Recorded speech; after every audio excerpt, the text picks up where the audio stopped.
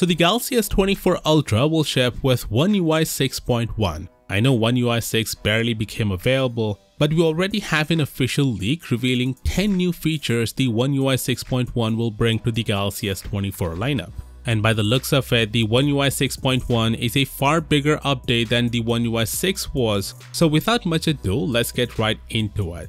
Now, since this is an official leak, there's a risk of a copyright strike, so as usual, I'm gonna upload the screenshots on my second channel. The link is in the description. But if you don't want to go, here is the lowdown on the new features. First, One UI 6.1 has an option called Voice Focus for clearer calls. As the name suggests, it actively isolates your voice, effectively eliminating background noise during calls to ensure a crystal clear sound. This feature comes in handy if the people on the other end are struggling to hear you and it applies to both voice and video calls. It's similar to what's available on the latest iOS. Next, Samsung has added new battery protection settings in One UI 6.1. Notably, there are now three new battery protection options designed to extend the lifespan of the battery. The first one is basic protection, which stops the charging process at 100% and resumes charging when the battery level drops to 95%.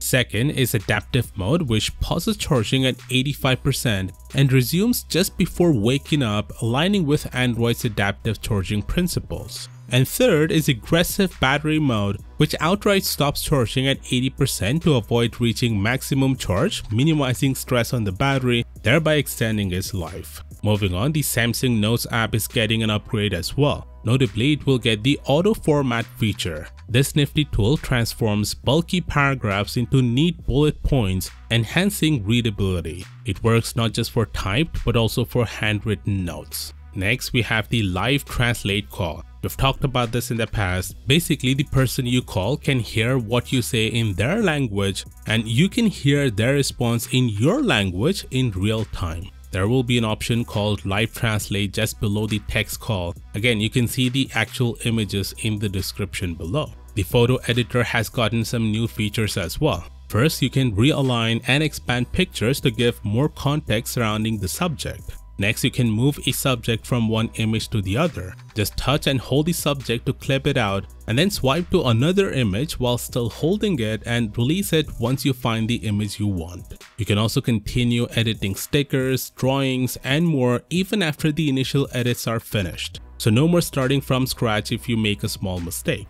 Next, the S24 can generate wallpapers for the phone from scratch using AI. Just ask the phone to make a wallpaper of anything you want and the phone will make it for you. The S24 also brings more customization to the lock screen where now you can add weather and portrait effects to the lock screen wallpaper. Weather effects include sunny, cloudy, rainy, snowy, and evening. And you can even animate it, which is pretty cool. Next, you can hide your background in video calls or you can even replace it with an image, something we already have in third-party video calling apps. And finally, Samsung has also improved the animations with One UI 6.1. By the way, these aren't the only features on the S24, there will be plenty more which we will discover in the days to come. In the meantime, if you want to see the actual screenshots of these features, click here and I'll see you there.